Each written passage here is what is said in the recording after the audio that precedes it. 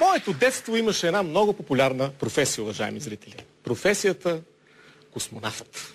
Даже в читанката имаше стихотворение, май така започваше, някъде в някоя дружина, някъде в някое звено, вързал се е връзка от Коприна космонавт 1001. Дали пак ще имаме някога български космонавт? Или сега ще изчакаме едно-две хилядолетия кризата да отмине? Ще се очудите, но все пак има българин, който се готви за космонавт и то в дружината на НАСА. 3, 2, 1, ignition. Когато порасна още малко и се надявам да стана космонавт. За разлика от повечето момчета, които си мечтаят да станат космонавти, обаче 26 годишния Райчо Райчев има реалния шанс това да се случи. След историята в Софийския, типичният научен работник, както нарича себе си, завършва с пълна стипендия и отличие Международния космически университет в Страсбург. Отказва на НАСА да направи практиката си при тях, защото междувременно получава същата покана и от бразилската космическа програма. Доскоро Райчо е работил в Института за космически изследвания Камбан. Отказал се, защото не вижда перспектива, но пък прави докторантурата си там. Ако това ви е малко, без финансиране от спонсори, е създал образователна космическа програма, която достига до 25 000 млади хора. Селекцията на астронавти дори в Европа е един сред десетки хиляди кандидати, така че там има малка конкуренция. Не като да се сбута с двама души на лавката в университета, нали? Но принципно има шанс.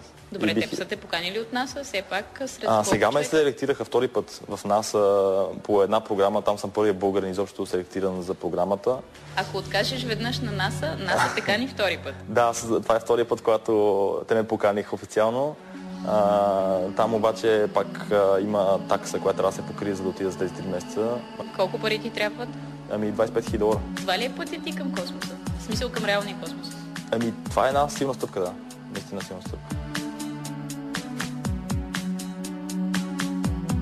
България не е член на Европейската космическа агенция, заради това абсолютно невъзможно като българи. Значи трябва да, да стана натурализиран американец или някакъв вид европеец от друга нация. Аз не се чувствам пренебрегнат, че съм а, българин. Факт е, на много места това ме спираше. Значи имах и, и конкретни предложения да работя в Европейската космическа агенция до момента, в който се оказа, че съм българин и че трябва да търся страничен вариант, тъй като България не е страна, която влага пари в Европейската космическа агенция. Въпреки това, че беше парадокс, защото бях първият човек нали, от България с пълна стипендия на Европейската космическа агенция. Завърших успешно в Страсбург и после се оказа, ама, извинете, вие сте българин. И реших, че аз попитах какво трябва да стане и те се засмяха малко. Казаха ми, България трябва да стане членка на нашата общност. И аз казах, ми добре, какво само това ли? Добре, давайте го. Ще го правим.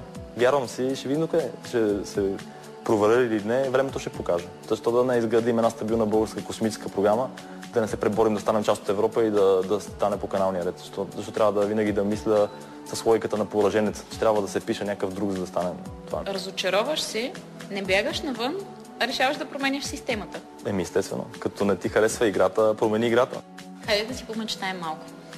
А? След колко години ти, Райчо, като българин, отиваш в открития космос? А, не по-малко от 10. Ти наистина си оптимист. Оптимистично е, да.